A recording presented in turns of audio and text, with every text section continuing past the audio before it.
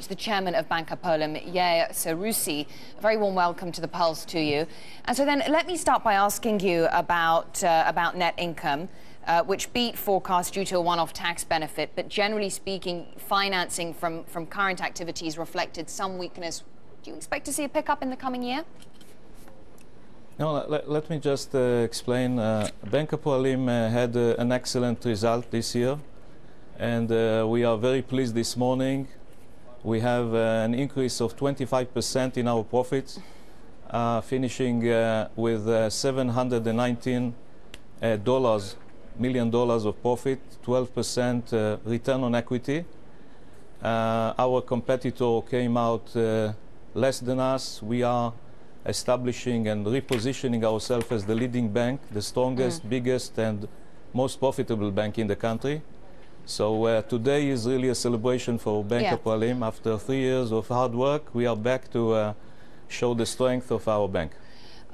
But Mr. Seroussi, you did see fourth quarter net income decline, yes. even if it wasn't, uh, you know, yes. a, a drastic reduction. We were talking about 672 million shekels from 713 in the same quarter compared to a year earlier.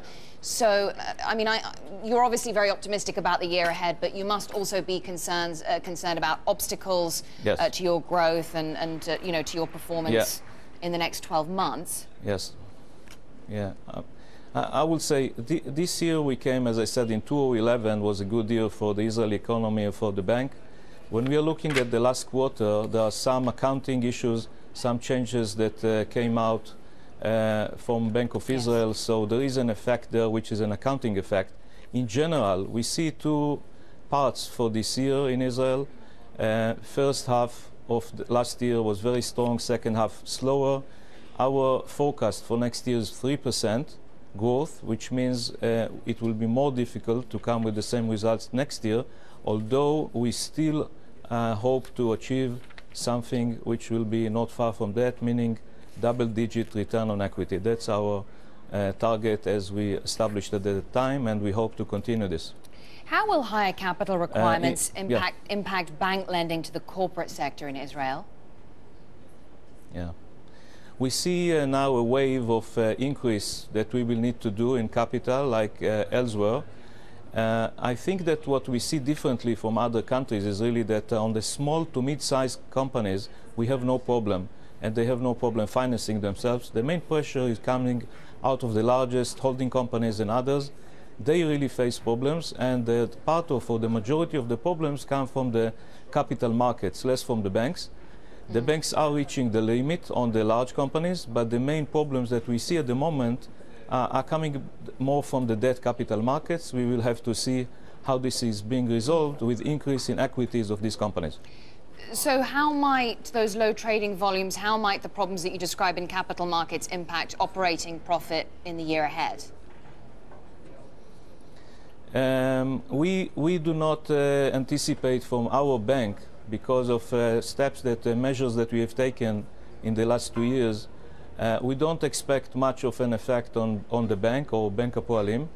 Uh, we look at it more on the macro level. We want to see how this all restructuring helps to continue the growth of the country, and we as bank as well uh, are affected mm. from these uh, effects of growth. But uh, we don't expect much uh, to be on our balance sheet or to be shown. Well, we expect the same provisions to, to be next year as well. And so you voiced some concerns there, Mr. Seroussi. I'm wondering, do you think that there is a problem, a possibly a credit crunch in the corporate bond sector in Israel? Um, there is at the moment uh, uh, a wave in which uh, some of our investors are really on hold. I think that uh, prices start to be attractive again and hopefully will start to shift it.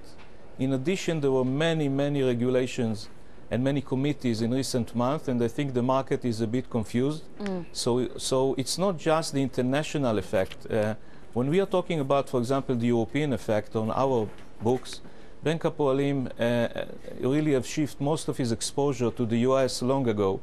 And I think that uh, what the effect that we see is really coming out of uh, a little bit decrease in exports to Europe.